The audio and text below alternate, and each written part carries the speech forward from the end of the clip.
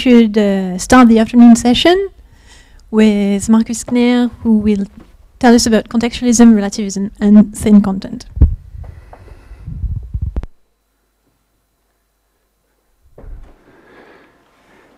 First of all, thanks so much for having me here, in particular to uh, Kepa and uh, his organizing team.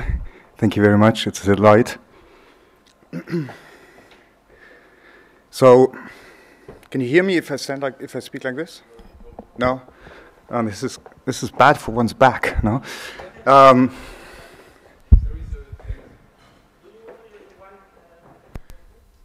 no, no, like I'll, I'll, I'll make do like this. Um, I'm going to jump right in and then give you the um, overview of the talk in a bit. Actually, this is better. So um, there's this phenomenon that got a lot of attention recently called faultless disagreement. And um, it more or less goes like this. So take the following exchange. John says Caravaggio's Supper at Emmaus is beautiful, and Mary responds, I disagree. It isn't beautiful. Then, or so at least it seems, there is genuine, genuine disagreement, as explicitly stated. Now, Mary says, I disagree. And there seems to be faultlessness, because in contrast to ordinary disagreement, neither speaker seems to be holding a mistaken belief. Now, there's various responses to this phenomenon.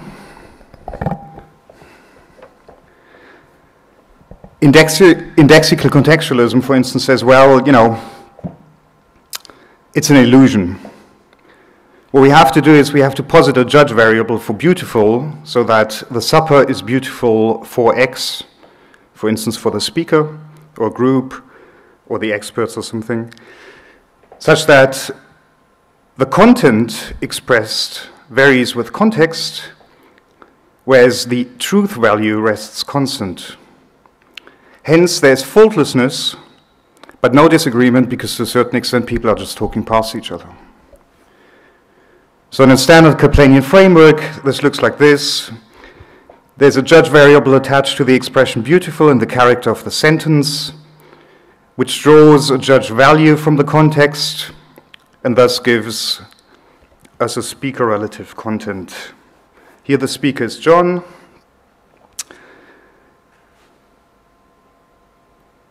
And here the speaker is Mary, in which case we have a different content expressed.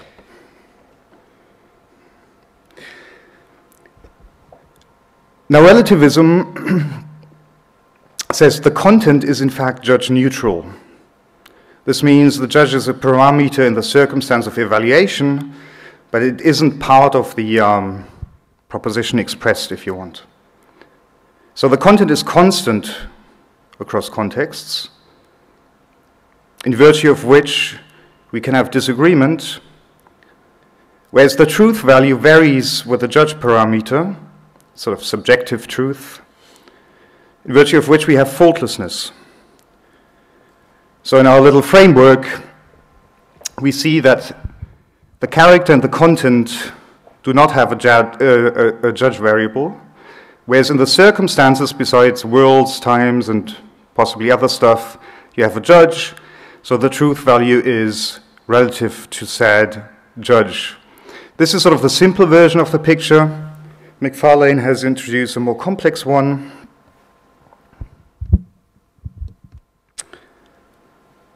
in which the circumstances or the parameters of the circumstance are not exclusively drawn from the context of utterance, but as highlighted by the red circle, also from a context of assessment. So, in this case, for example, the world and the time might come from the context of utterance, whereas the context of assessment provides a judge variable. Depending on who assesses the utterance, the truth value might change. So, roughly, there are two types of relativism for what matters here simple and complex. So, the first picture is probably in tune with Kölbel and Lasersohn, the second one with MacFarlane and, uh, and his followers, the important feature is the radical rift between thin content on the one hand and circumstance on the other. So that's this thin little dotted line, here indicated by a more remarkable red line. And the idea is that the characteristic trait of relativism, at least for this talk, is this. The invariable content of an utterance or thought, the proposition or quasi-proposition if you want, is the parameter neutral or thin content. This picture is very different from one in which the proposition is conceived as jointly determined by thin content and circumstance, such as this. In such a case, the object of thought and language is the complete content, or as Francois Recanati calls it, the Austinian proposition, rather than the thin content alone or the lekton. This picture, of course, is not a relativist one.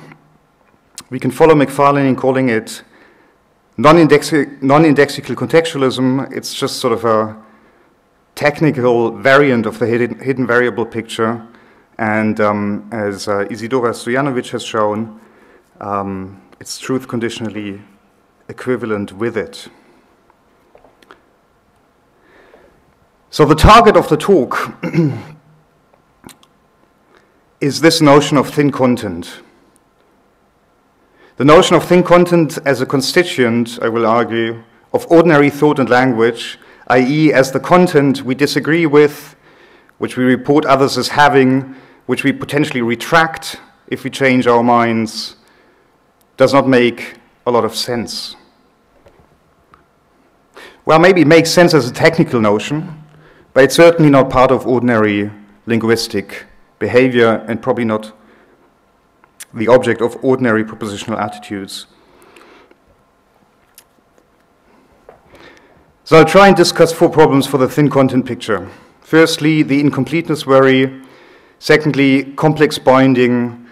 And then thirdly, this is some new experimental data, thin content use in ordinary language. And fourth, um, relativist truth assessment and retraction. That's also new experimental data. So as regards incompleteness, I'm in very good company. I won't read all these quotes, but there's some, this was already remarked by uh, Frege that it doesn't make all too much sense. MacFarlane is very aware of the um, very. Cappelen and Hawthorne have um, mentioned it explicitly, so has um, Friederike Moltmann. Here's a little sampler of, um, of what they say. In his unpublished manuscript Logic, Frege says something like, asserting a thin content, one would not be asserting anything at all, and there would be no contradiction between the opinions of different people. MacFarlane, for instance, says, he sometimes calls it the intention problem, at which circumstances of evaluation is the proposition that Clara is just plain tall true? Cappelen and Hawthorne say, there is something of a strain in accepting that each such, such thin semantic value cuts the space of possibility into the worlds where it is true and the worlds where it is not, grounded in felt uneasiness at answering very simple questions about what it would take for thin semantic value to be true. So I basically this whole incompleteness thing I'm throwing language and, uh, and thought together here, and I think they can't really be the object, objects of either propositional attitudes or um, the uttered contents. So very simply put, the worry is this. Thin contents are too indeterminate to serve as contents of propositional attitudes or utterances. Take the examples, it's raining or Scriabin second is beautiful. If I'm in the dark as to the location or judge parameter. I cannot make sense of your utterance or belief. So the structure of the argument is this. Relativism invokes thin contents. Thin contents are completely underdetermined entities that cannot serve as objects of propositional attitudes or utterance contents. Hence, relativism is false. Now, so far, this is, um, this is all old news. Um, the really astonishing thing is how MacFarlane, so there's very little, very few replies to this problem. Um, the only one I'm aware of is, um, is by MacFarlane, and this is his response Um, it's a condition I'll call modal anxiety. So he, he proposes this, um, this condition of modal anxiety, and it is intended to block the argument from incomplete contents against relativism. What he says is the incompleteness objection proves too much. Even if we put location, time, and so forth into the content of Sam's weather belief, then it is still not determined whether the accuracy of his belief depends on the temperature in Paris in world W1 or in world W2. However, bringing the world of the context into the content of Sam's thought, and this is the um, anxiety, would make this content a necessary truth about this possible world rather than a contingent truth about the weather in Paris. So, what MacFarlane suggests is that an actualized version of the content P of a thought or utterance, if true, makes P necessary. Let P stand for contingent proposition, A for the actuality op operator, N for an, maybe if you want, as yet underdefined necessity operator.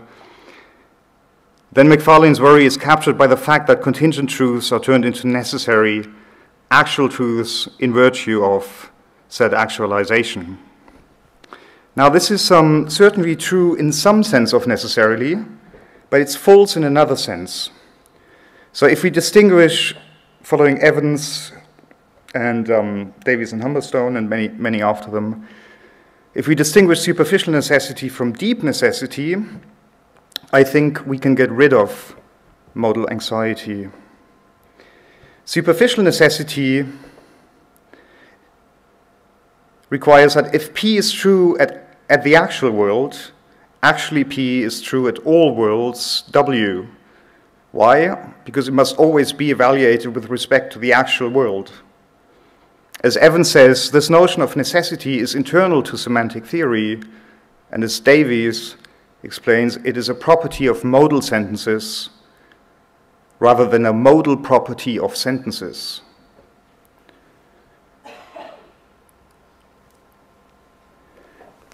Deep necessity, on the other hand, is defined thus. P is true at all worlds W when W is considered as actual. So if P is deeply contingent, there will exist some state of affairs of which we can say both that had it not existed, the statement would not have been true, and that it might not have existed. As I said before, this is a modal property of sentences rather than a property of modal sentences. So yes, MacFarlane is right that if P, then necessarily actually P is true if N stands for superficially necessary, but it is not true if N stands for deeply necessary. Now, if we look at the precise wording of the objection again, what does this mean? So MacFarlane says bringing the world of the context into the content of Sam's thought would make this content a necessary truth about this possible world. The important thing is rather than a contingent truth about the weather in Paris. Now, the weather in Paris is precisely the kind of state of affairs of which we can say both that had it not existed, the statement would not have been true, and that it might not have existed. That means that kind of thing which defines deep contingency. So Sam's belief, if true, is both a superficially necessary truth about this possible world and a deeply contingent truth about the weather in Paris.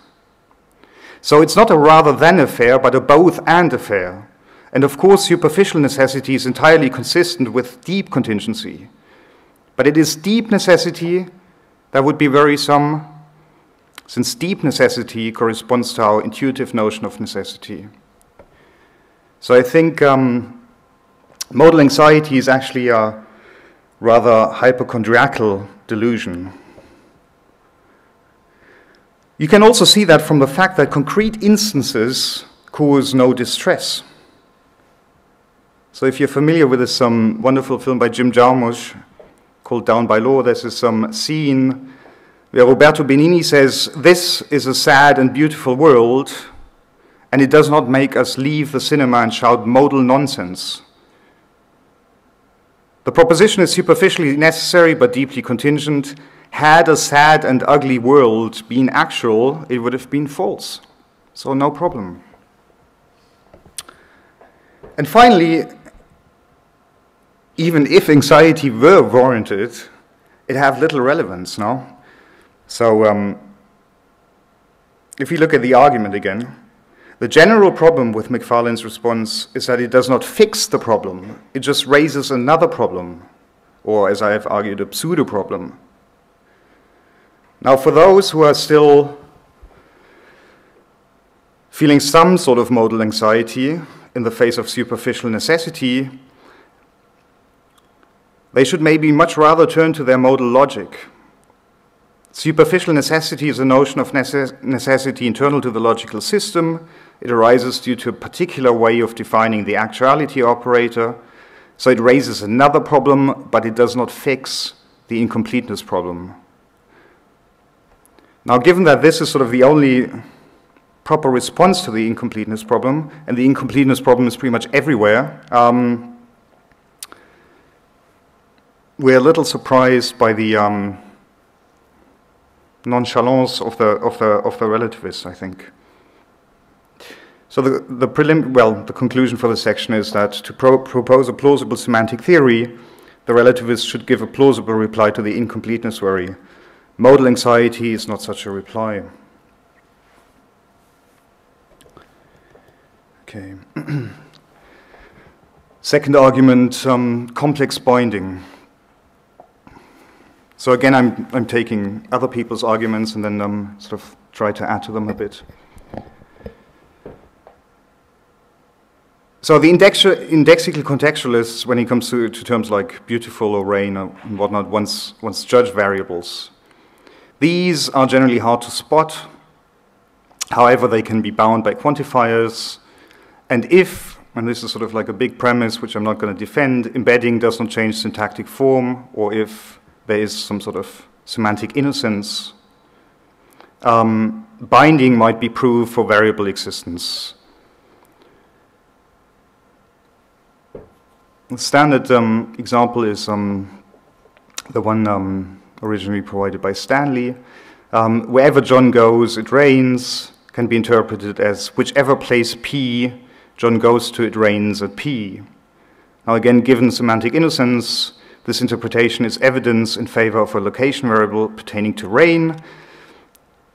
That is what is bound by the quantifier phrase. Now, then one can sort of draw up um, a similar example as regards, you know, predicates of personal taste, for instance, as regards fun. Every man rode some ride that was fun. Most natural interpretation, every man X rode some ride fun for X, seems to require the postulation of a judge variable for fun, such that it binds into each of the values quantified over individually. Now, of course, indexical contextualism can cope without problems with individual binding. Relativism might seem to have problems because it conceives of the judge as a parameter rather than a syntactic variable. And there standardly is a single judge parameter rather than a flexible one that matches up each man with his ride. And now this is some rather, rather interesting argument by Lasersohn, who responds to the anti-relativist binding argument, um, which of course he has to, um, but, but this is much more interesting. He actually turns binding into a pro-relativism argument. So he says, instead of object language binding, what occurs is meta-language binding of the judge parameter. This, this procedure he calls index binding, in such index binding, we are employing a single systematic parameter relative to which all denotations are assigned. And if an operator manipulates this parameter, it will do so for all expressions in its scope. I'll spare you the, the, the, the, technical details, but um, and, and, I'll just grant Lasersohn that this makes sense, um, which means that index binding can do the same as parameter binding, no, the same as variable binding. The judge parameter, according to whom the ride was fun, varies with the values introduced by the quantifier every man. Here comes the interesting bit. Take the following sentence. Every man gave some woman a fun ride and a tasty dish. Like there's, I don't know how many interpretations of this sentence, but, um, but here sort of four. It could mean all rides are fun and all dishes are tasty to the speaker. It could also mean each man finds his ride fun and his, or the, and his dish tasty, meaning the, the dish he gave to the woman. Um, or we could have the same interpretation for the receiving end. Each woman finds the, the, the right fun which she received and the dish um, which she received tasty. But it gets complicated once we sort of assume multiple perspectives, which is done in interpretation 4D. So the rides are fun for each man, or each man thinks that the ride he gave was fun.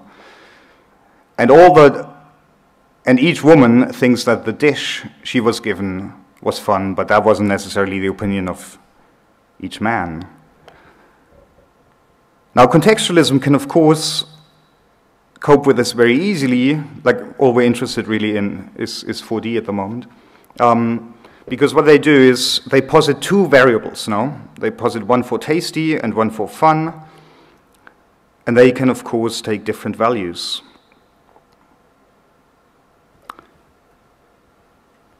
Now, relativism cannot really make sense of reading 4D because they have a single judge parameter which requires relativization of both rights and fun to the said judge.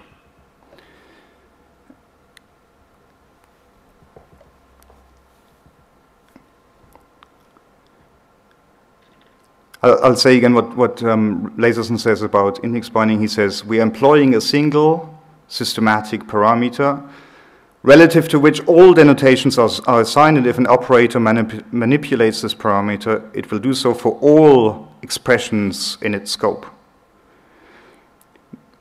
The intuition of this is in a relativist theory, in order to assess a sentence for truth or falsity, one must adopt a stance. That is, truth assessment is always done from a or one particular perspective. Operators in the sentence may shift the perspective from which truth assessment is to be done or quantify over such perspectives, and when they do so, the relevant perspective must be adopted for the entire scope of the operator.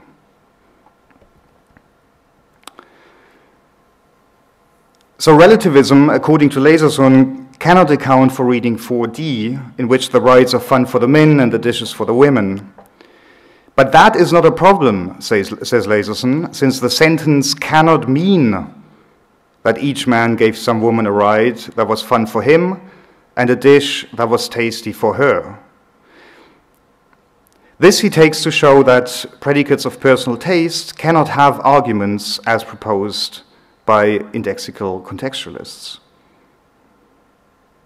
So this is a really interesting argument, I think, because what Lasersohn wants to show is that the limited expressive power of index binding fits natural language like a glove. This, in turn, he takes to show that variable binding, which gives rise to superfluous um, readings, cannot be right. Now, as regards the latter, um, that's a little extreme as a conclusion. Of course, the greater expressive power of variable binding certainly does not speak against it. And this is sort of the new argument now. The extra power is actually needed. Consider the following examples. every dad would take some child to the fairground to try out a fun new ride and get a delicious local brew. So I think it's very obvious in the sentence that delicious, that the, the brews are delicious, delicious for, the, for the dad and the rides are fun for the kids. Or on Halloween, every kid would either play an idiotic trick on some adult or get a delicious treat. Here again, I think um, we have a relatively clear case. Um, if you're not convinced, take things like, you know, Every parent had brought a child to the resort. The moonlight tango dancing was romantic and the splash pool a lot of fun. You know, or if you want to be, if you like, want to play on gender stereotypes, every guy brought his girlfriend to the soccer final. The game was exciting and the players were gorgeous. Um, or uh, like uh, riffing off MacFarlane, maybe, um, who always talks about fish sticks. Every parent had brought a child to the restaurant, the wine was delicious, and so were the fish sticks. Okay, so I think it's just a very clear case that we need two different variables. Um, and that is precisely what, I mean, what relativism is going to have trouble with. And so what seemed like an advantage for relativism, because it so beautifully captures the theoretical perspective in the, in the semantic framework, um, does actually pose a big problem so, conclusion of this little part is um, that given semantic innocence, multiple judge examples constitute evidence against the limited resources of relativist index binding.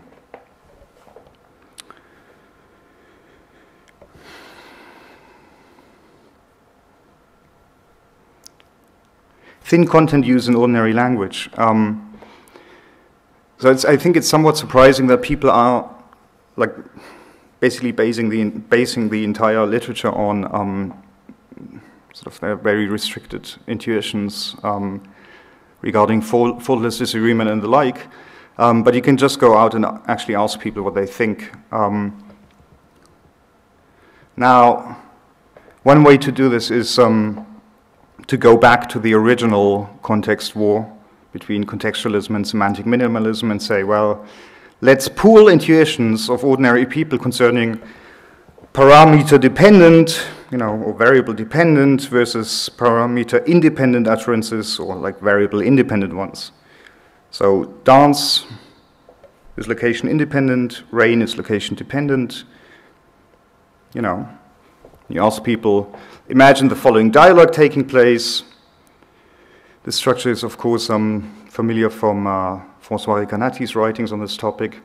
Um, Mary went dancing last night. Chris responds, Where? Frank says, I have no idea.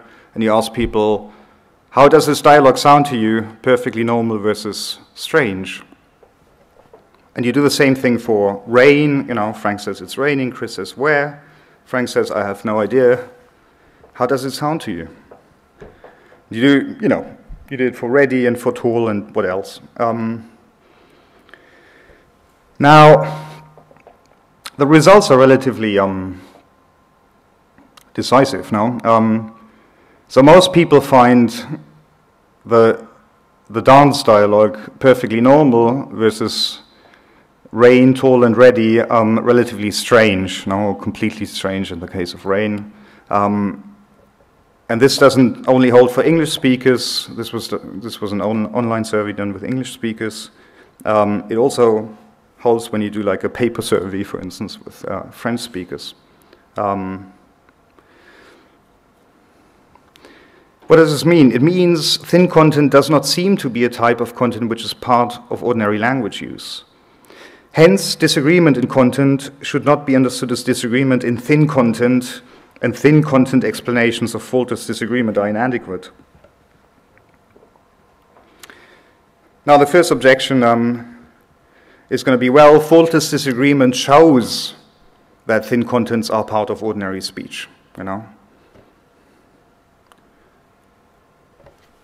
Well, I mean, why? No, because I've, I've just been testing things that don't necessarily give rise to faultless disagreement, with the exception of maybe tall. The response is, well, in that case, we would explain the existence of faultless disagreement with thin contents and the existence of thin contents with faultless disagreement. Yeah. It's somewhat circular. So, in order to explain faultless disagreement, we need an independent argument for the ordinary use of thin contents. And given the evidence, we also need an explanation why thin contents regarding taste, aesthetics, modality, and so forth are different from standard thin contents regarding the location of rain, ready, and so forth, because these, the latter, the rain, ready, and so forth contents, are not used in a thin way in ordinary speech. So then the question is, well, why did you not test tasty, beautiful, and might? You know, um, and the response is that I think that standard faultless disagreement expressions such as beautiful and so forth are polysemous. They have an objective and a subjective use. Faultless disagreement arises because we sort of mix up these uses. So it's an illusion, really. Um, and the more concrete response is then the above experiment will not work with beautiful or good or something because many people will automatically disambiguate to the objective use. So it will not sound strange to them if I just say, well, it's beautiful without specifying a judge. However, we can test epistemic modals and knowledge ascriptions because I don't think they are um, polysemous. So um, take the following scenario. You're having dinner with some friends in New York, discussing whether Stephanie is currently in France or not. Nobody knows for sure. Frank says, Stephanie might be in France right now. Just then, you receive a text message from Stephanie which says that she is in New York. To what extent do you agree or disagree with the following claim? What Frank said was false. So relativism would say, well, the claim Stephanie might be in France right now can be um, evaluated, um, for example, at Frank's epistemic um, situation or perspective. And given Frank's epistemic situation, the claim is true. No? There is just no information to the contrary at the, at the moment. Whereas you, evaluate S at a different circumstance, which draws the world and the time, of course, from the context of utterance, but the epistemic situation from your context of assessment, which has been, you know, sort of, um, which has advanced. Now you just received a text message. So given your epistemic situation, S would be false. So relativism, especially like MacFarlane relativism, that is, um, would predict that people say what Frank said is false, and they would also, it would also predict that Frank is deemed to be under an obligation to retract his statement. So the way we set up this, um, well, the way I set up this experiment um, is I took um, a cue from MacFarlane who says, well, you know, you can contrast your intuitions as regards might with your intuitions as regards like a non-modal formulation where, um, you know, Frank says, for all I know, and thereby explicitly in the content stipulates his epistemic situation, okay? And the predictions, of course, are of MacFarlane, are that in the case where, you know, Frank says, Stephanie might be in France, people would say, you know, that is false because they've got new information or they just received a text message. Whereas in the case where Frank says, for all I know, I mean, he's hedging his bets, no? Um, he says, for all I know, um, Stephanie is in, um, in uh, France. MacFarlane would predict that people do not think it is false. You know? So on a Likert scale from 1 to 7, where 1 means completely disagree and 7 means completely agree, this pattern is what MacFarlane predicts, you know. So seven basically stands for the claim is false, and one stands for the claim is not false at all. The actual results are, are completely different. Um, so um, what you see here is the difference between the modal and the non-modal formulation is not significant. Um, so this kind of predicted difference by by by MacFarlane is um, you know is false. But at the same time, we're you know does this really speak strongly against um, assessment sensitivity? Maybe not. But you can go on, you know, you can ask people, what do you actually deem false? You know, because there's two sources of falsity, you know, like you can say, well, the modal claim, it might be that Stephanie is in France is false, you know, or else the embedded claim, it might be that Stephanie is in France is false. and Now, since these people, you know, aren't necessarily experts in linguistics or analytic philosophy, they might just sort of tick the wrong box. So all the ones who have ticked that the claim is false, you can ask, well, you know, what exactly did you mean? So you give them the following options. It is false to say that Stephanie is in France, but it was not false for Frank to say that she might be in France. Or else, and this would be the whole claim, Frank's claim that Stephanie might be in France was false. Okay? Now, here the results are really decisive. Okay? So people do not think that Frank's claim that Stephanie might be in France was false. They think it's true, even though their epistemic situation has changed. Okay? Like this is this is just the results of the follow-up. But we can aggregate them with the previous results, in which case things look like that. You know, so all the people who um, said, um, you know, basically chose one, two, three in the Likert scale um, in the first round, are asked again what they mean by false, and this is something um, something you get. So people think the epistemic modal claim is um, is true. So they assume Frank's epistemic position, um, and it's relatively similar to um, the non-modal formulation in which you have for all I know, which sort of explicitly stipulates the epistemic situation of Frank. So just to, to make it really obvious, um, the first thing are the actual results. The second thing are MacFarlane's predictions. Okay, it could not be more wrong. Um, it's just like it's exactly inverted.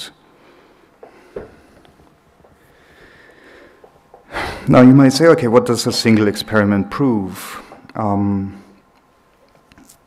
well, I varied it a little, you know, took the same scenario and said, it just gave people a lot of responses. I said, well,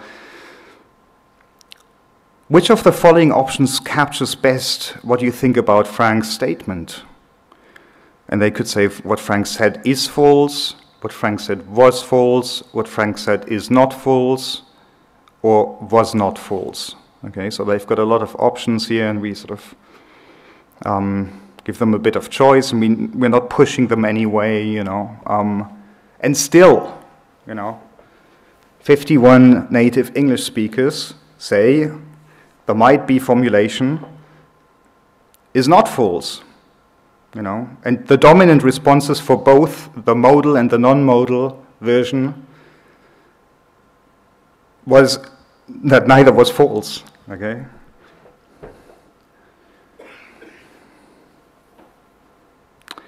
You can, you can do the same thing with French speakers. Okay? And in this case, for example, I didn't use a Likert scale, I just said, well, is it false or is it not false? Do you think what Frank said was false? Is what I asked. I didn't give them any options, you know, or not as many as in the, the experiment before. Again, you know, the dominant answer is it was not false. Okay? In the modal case, you've got 60% saying what Frank said was not false, even though here, sort of the actually in the non-modal case, 60% said, so in the for all I know formulation, 60% said, well, what Frank said what was not false. And in the modal version, um, it, is, it is even more, it's 80%. So this is interesting. No? The epistemic situation of the speaker and no one else seems more salient in the modal formulation. The unarticulated epistemic constituent thus seems to work at least as well as the explicit one in the for all I know formulation. So you're probably familiar with these like eavesdropping cases, which I'm skipping now because otherwise I'd run over time. I'll just show you. So basically the deal is same, same responses, okay? MacFarlane is just on the wrong track. Um, last little experiment. So MacFarlane, for instance, as, as, as well as other relativists say, well, knowledge ascriptions are assessment sensitive also. What does this mean? Well, take the following little scenario. John has just parked his car in the driveway of his house. Shortly thereafter, his wife Sally asks him in the living room, Do you know where your car is? And John says, I know it's in the driveway. And Sally then says, Are you sure it hasn't been stolen in the meantime? And, um, and raises, you know, sort of the demands of the uh, standards of epistemic precision a little, or like the epistemic standards in general, not necessarily precision. And MacFarlane says, well, in this scenario, John would say that he didn't know, you know. Since S is now evaluated at a world drawn from the context of utterance, a time drawn from the context of utterance, and an epistemic standard drawn from the context of assessment. No? So it's a different epistemic standard from the one which had been provided by the context of utterance, where his original, where his utterance actually took place. No? So MacFarlane's prediction is John would retract his statement S because from his current context of assessment, in which the epistemic standards have been raised, it is false. Now, I asked people, I gave people that scenario, you know, and um, asked them, do you agree or disagree with the following statement? What John said was false, and they could sort of agree and disagree on a seven-point Likert scale again, where one meant uh, completely disagree and seven meant um, completely agree.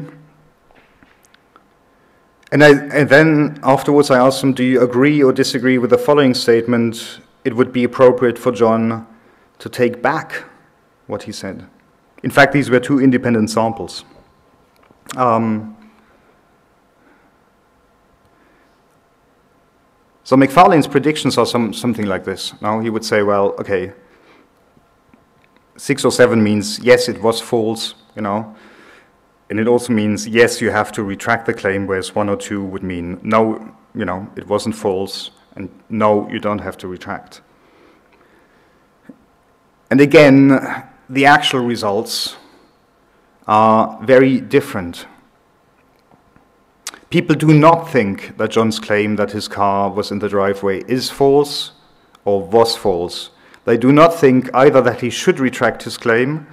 This suggests that they relativize the content not to the more stringent epistemic standard which has been brought into the game by Sally or by his wife. Instead, they relativize the content to the speaker's or John's original epistemic standard. This means claims involving epistemic modals are not assessment sensitive and they do not give rise to retraction intuitions. I haven't really shown that, but in the Bond scenario, I do show that. What I have shown just now is that claims of knowledge are not assessment sensitive and do not give rise to retraction intuitions. So relativism seems to work with fundamentally flawed assumptions, um, I think. Thank you.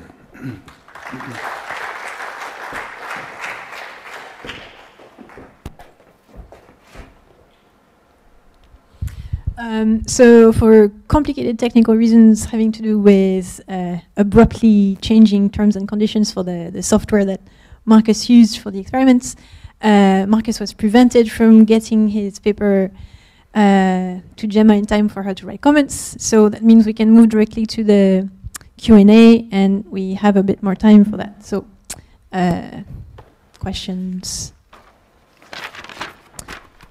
Dan?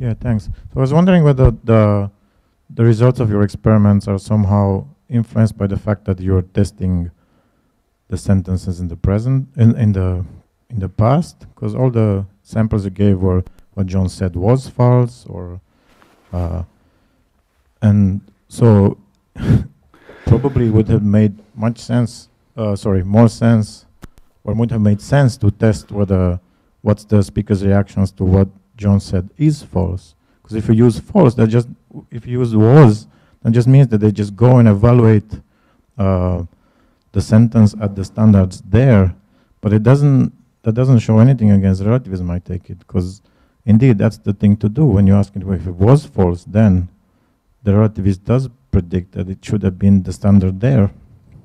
Whereas if you ask if it's false now, uh, so that that might be a. So is, you think this is an acceptable answer from answer from the relativist? So, um, so I think, I mean, the was formulation is precisely what MacFarlane has in mind. That's what he says ex explicitly. Now, the deal is um, that my current context of assessment even um, sort of makes the claim, which I made earlier, false um, relative to the context of utterance and the context of assessment, which jointly determine the circumstances of evaluation.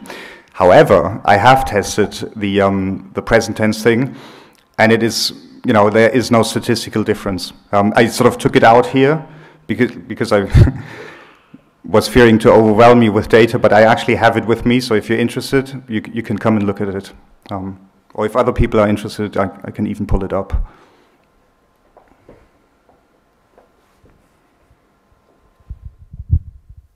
Um, more questions?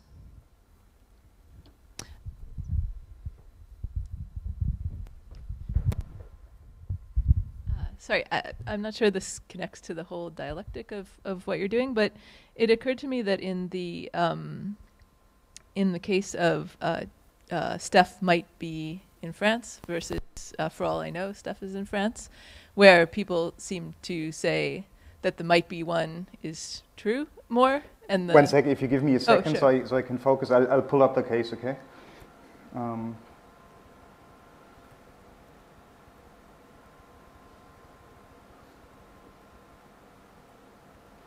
This one, no?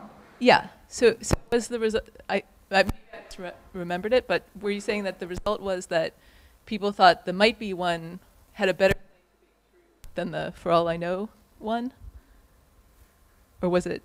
So. Yeah. So they thought that was more true, or yeah. People yeah, I think in general. So I think this. So a non-relativist would say, well, the for all I know and the might would probably be the same mm-hmm. roughly now. And yeah. MacFarlane would say the opposite now. He would say, well, might or the epistemic modal formulation is deemed false, mm-hmm. whereas if you sort of explicitly flag right. your epistemic situation in the content of the utterance, well, then, you know, like, you know, no one can mess with you, so to say, right. you know. So the, um, for all I know, results are as predicted. And the nice thing, if you're an anti-relativist, is that the might is very similar to the for all I know, the non-modal formulation. What is sort of a little unexpected is that it's, it's even more extreme. Yeah, you know? so that, that's what I wanted to, uh, not, it's, it's sort of a question, I guess, or a suggestion, that it strikes me that one explanation for the difference might be that uh, the might could also suggest a, a kind of counterfactual or a general possibility reading. So uh, you know, Steph might be in France. That's true in the sense that she. I mean, it's not it's not impossible. Whereas Steph is in France. That's just false in the scenario that you give. And so it's a metaphysical might rather than an epistemic might. Well, mm. people are maybe that's contributing. This difference looks it looks significant. I don't know if it is, but that would be the, the, the might is actually hedging the claim in some ways more than for all I know, which is still sticking with a straight out indicative claim. So. Yeah, that's very interesting. So it, the challenge here is to conceive of an experiment where sort of the metaphysical reading is more dominant and another one in which the epistemic reading is more dominant, because we might have both in in this one bar. this Yeah. Yeah.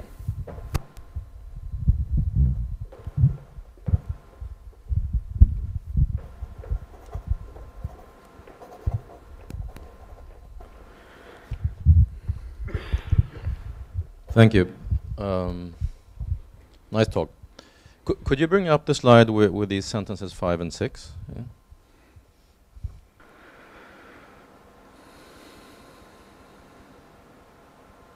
Because I, I sort of remember five, but not six. Ah, really, damn it. Excuse me. Oh. Can you tell me what they were about?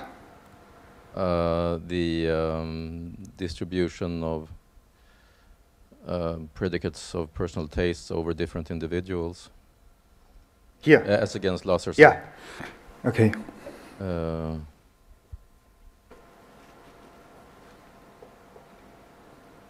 yeah. Okay, so so you use these to to uh, argue against um, uh, Lasersohn and say that it's perfectly possible to have uh, readings where the uh, uh, where the con- contextualism gets it right, and the uh, um, the uh, predicate is related to different subjects. Now, I I think um, there is a problem with both of these sentences. Um, as regards five, um, there is uh, an implicit sameness of subject uh, to the true both uh, conjuncts of the verb phrase. So what this means is that same subject tries out the, the fun new ride and gets a delicious local brew. It's hard to get a reading where, where there's two different subjects, one that tries out the fun new ride and another that, get, that gets a delicious local brew.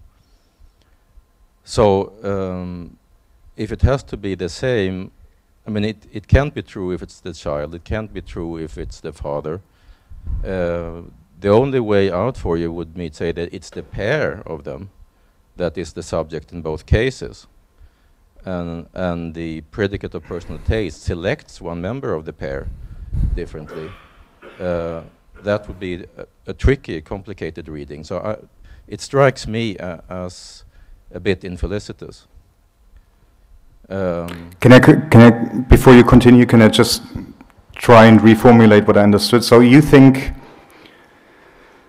there is not a single subject now? There's sort of um, the kids like the fun rides, no? Or the kid, um, and the dads like the, the brews, no?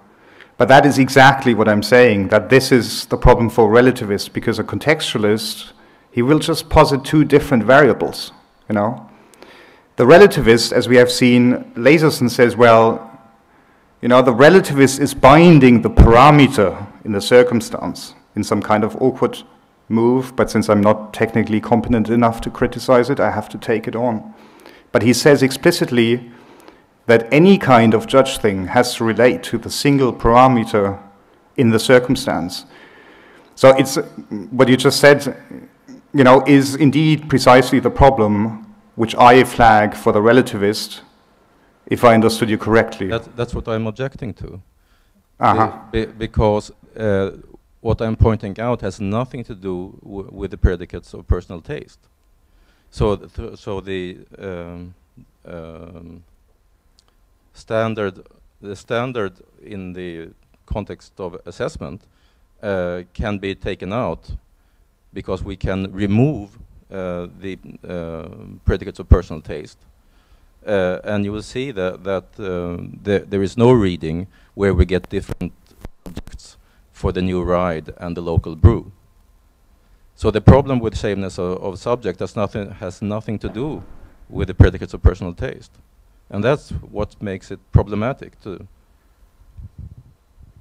Yeah, I, I- I don't think I understand the problem. Um, I think we agree on the fact that there's multiple subjects No, um, and I think no, we in, do not. In, in your intend in your intended reading, there are different subjects, Uh huh. and I think that that's not really an available reading Be because of the quantificational structure. Th there is you have a, a, a verb phrase uh, which is infinitival. Yeah.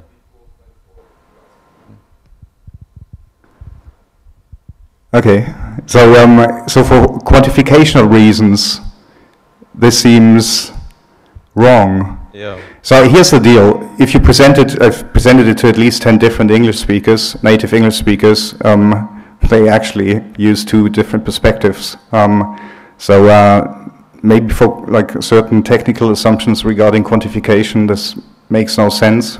But then, I mean, the point is sort of clear. No, um, and then either I think there's something wrong with our approach to Well- quantification. I'm not technically competent enough to respond to that, but maybe you can explain it to me later. Um, but I think these cases exist where sort of the, you know, the perspectives go multiple ways rather than a single way. Well, that's an interesting result if you have done the test. Um, and it would be interesting to find out what actually delivers that result. Uh, you could try out, for instance, i do the control test and take out the predicates of personal taste and see wha how people react then. Um, as for number six, um, here uh, it's um, um, it's also a bit difficult because as regards idiotic that's a verdict of the speaker uh, and not uh, on some adjubutee that's mentioned in in the sentence while uh, delicious refer is applied to the standards of taste of the kid. So I think that that's not exactly the kind of example you would want either.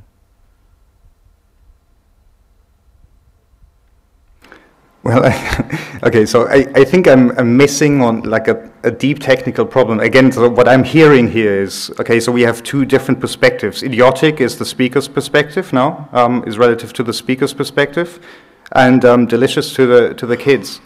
Well, then I think great, like for my case.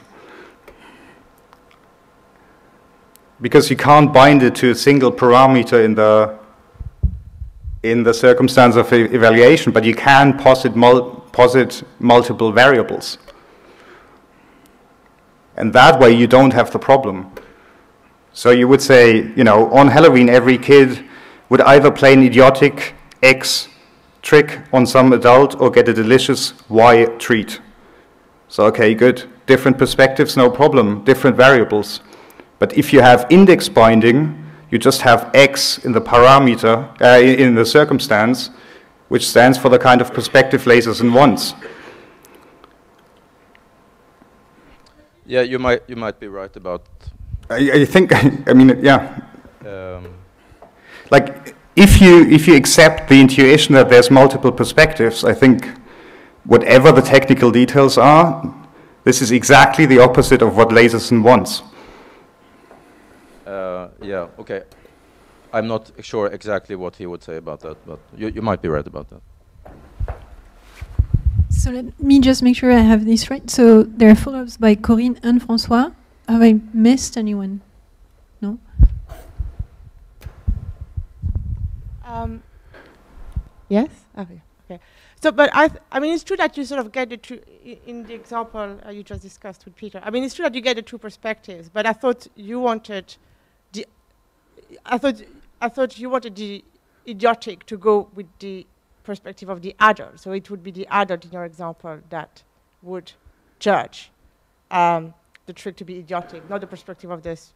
I don't care, you know, like as long, no, no, oh, I'm sorry, as long as there's multiple perspectives, and y- as long as, you know, you don't want to like just completely redo binding in the, in the circumstance of, um, of evaluation. Sure. The more perspectives, the better, okay? But I, again, I'll give you another example. Every parent had brought a child to the restaurant, the wine was delicious, and so were the fish sticks, okay? Sure. But on that example, I don't, yeah, I don't think it's that clear. But so can I just uh, quickly follow up? So I didn't understand the strength of the argument against Lasersohn here. I mean, are you suggesting that it's impossible to get a relativist semantics where you could have uh, different perspectives or different standards uh, uh, in the assessment context? Or is it just ad hominem, okay, Lasersohn said, you know, there is just one standard in the context of assessment. He's wrong. It's not the end for relativists because they can It's certainly not ad hominem, no? I mean, it's not, I mean, I'm, I'm not just sort of attacking him for personal reasons or something. no, no. I mean, ad hominem it's his, it's, it's his view, but it's not going to extend to a relativist who says, well, I'm just going to relax that requirement that there is only one standard um, of taste or whatever in the context of assessment. And then you can capture the sort of data you are putting forward. So I'm, I'm, what I'm trying to do is, so I, first of all, I find it interesting that Lasersohn, as a relativist, is trying to employ binding in his services now, because traditionally you would expect that it's sort of a contextualist argument now. Now, if you read what Lasersohn says, is, you know, regarding our sentence, hang on, every man gave some woman a fun ride and a tasty dish, no? Where the two things come apart, he says, well, the intuition of the rel- relativist sort of index binding procedure is this. In a relativist theory, in order to assess a sentence for truth or falsity, one must adopt a single stance. He doesn't say single, but that is, truth assessment is always done from a particular perspective. And then he says operators in the sentence may shift the perspective from which truth assessment is to be done, or quantify over such perspectives, and when they do so, the relevant perspective must be adopted for the entire scope of the operator. Okay? So I think, I think what he does. I mean, I understand that, but I, I was just curious about whether you could imagine a relativist reply who says, well, we should, we should just, you know, Drop that. drop that. And maybe there is a way of being a relativist and capturing the fact that there are different standards of taste in the context of assessment. I don't see, uh, in principle, why we can't just, okay, that was, you know, okay, your, your examples are convincing, you know, the relativist has to say something else, and they could just, you know, uh, capture your data. I don't, I mean, I haven't sort of thought it See, through, but I don't see why they couldn't. The um, you you know technically you can probably make um, sense of that. Now, I, like at least I couldn't argue against it, okay, because I don't have the technical competence. But then, if you think about it philosophically, you know, so in principle, the kind of relativism I'm attacking is like, or the problem I have with relativism is that you sort of sever the thin content from the circumstance. And now you come along and say, well, this really complicated um, binding thing, you know, which is set up by syntactic, you know, structures is sort of interacting with a circumstance parameter, you know, so then this whole severing procedure, um, like in the beginning you say, well, as a relativist, well, thin semantic contents are independent, I mean, for example, MacFarlane says that now, of the circumstances, you know. So as soon as the binding is so incredibly complicated, I think you bring the two much closer together, and it's no longer obvious why the content expressed is thin if it so strongly interacts with, you know, sort of sets up things in the parameters of the circumstances, um, and why we shouldn't just sort of consider the content, uh, the thin content, plus the circumstances as the proposition. But then we lose the relativist intuition, you know. Do you sort of see what, it, what I'm trying to say? And So we have two more questions and five minutes to go. So François. Okay, so it's about the, the example with knowledge and the, the garage example. Uh, there are two things. First, I thought there was there were experiments by Hansen and Chemla showing that basically what philosophers had said about this shift of truth value actually happens and is attested by people's intuitions. So it seems that your results conflict with theirs, if I'm not wrong. And I wonder whether this may have to do with at least from your presentation of the case, it doesn't seem that you gave much of the context to the people you test. you simply have Mary's or Sally's utterance.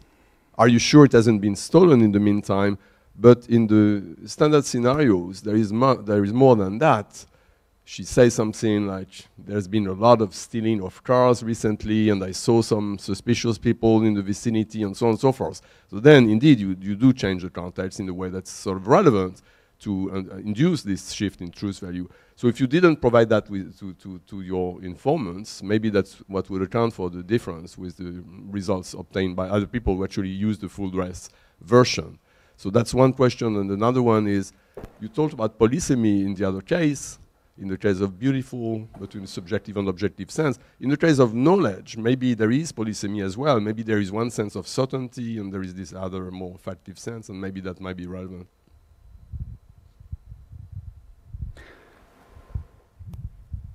Yeah, these are just both great suggestions. I'll, uh, I'll have to think about the latter and um, try out the former. No, no, no. I, I, I, provided exactly what I what I have up here. You know, um, so the answer is no. I you know I don't have data on a on a deeper, like a more fleshed out um, shift in context. Oh, I'm sorry. My my question was just like Corinne, so I can pass. Okay, thank you very much. Any more questions from anyone? Yes. Hi, it's it's it's just a suggestion. You, you I don't know if you know, but uh, Joshua Knobe and Seth Yalcin have done similar some similar experiments to the epistemic modal cases that you had here, and that's coming out somewhere. soon, but it's on, on their pages. You can find that something on epistemic modals and experimental data. And they've, they've tested cases like, um, you know, Bob might, Mike might be in Boston, uh, you know where he is, he might be in Boston, and then you, one of the interlocutors gets an email from saying that is, he's at New York, is that They tested this case, yeah. yeah um, so I'm, I'm in touch, so we both, both sort of like in parallel started these things. Um, but they, interestingly, they do them quite differently quite often. So, um, you know, sometimes, sometimes the results, basically the kind of results, if I can show you. They're, they were similar to the retraction case you had, so they... Retraction is relatively easy because the, the results are relatively strong. Well, their, their, their re retraction results were peculiar. It, ah, yeah. it, didn't, it didn't seem to confirm strongly either contextualist predictions or relativist predictions, which so it would it seemed that it split more. So the judgment of the the, the factual, say John, say Bob is in Boston, and then you get an email saying that he's in New York, and then Bob might be in Boston, you get an email. So people people get very different uh, responses for those where you think it's false, when the factual assessment uh, a, a statement, what was it? Uh, Bob is in Boston, people say, well, if he's in New York, then that's just false, but he might, might be. Or when, given the knowledge that you had back then, then people sort of st still thought that it came out true, even though, uh, even though you later find out, or the speaker later finds out that that's not the case, that that is in New York. But the retraction cases that they had were, were interesting cases because they, I mean, they did not confirm the relativist predictions, but they were not sort of strongly overwhelmed. So it seemed to, it seems that people, which is actually what I think, it seems that people um, tend to think that retractions are permissible sometimes, but they're not mandatory, and that's that's problematic enough for for the relativist anyway. Yeah, but I mean, but if you're in touch in that with them, then yeah, so there's no point in suggesting further. So Thank you. A very small final question but really very short. Uh, I hope I can keep it short. I want, uh, may I see five again? Ah, uh, five. Okay.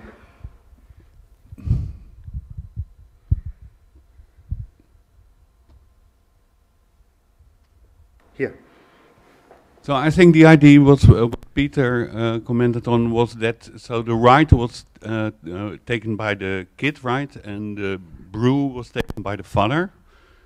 So yes. there would be uh, this kind of joint uh, dependency on father and kid. And you might say that one prediction would be if it depends on both variables, then uh, so I think it's called the contextualist option might say, okay, it depends on both, and then they could get this shift in readings because then we have both parameters active at the same time, and then it would predict, well, not a reading, but the possibility that, you know, and this is theoretically maybe very strange, but that the rights sometimes were fun for the father and sometimes for the kid, and that the brews was uh, delicious sometimes for the father and sometimes for the kid, and, and, make it true.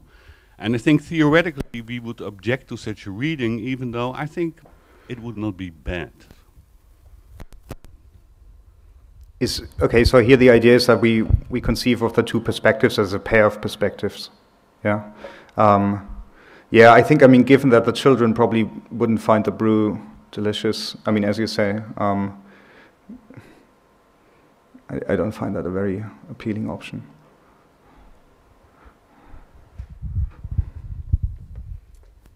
Okay, so let's thank Markus again, and uh, we can take a 15 minute break and reconvene at 45 past sharp.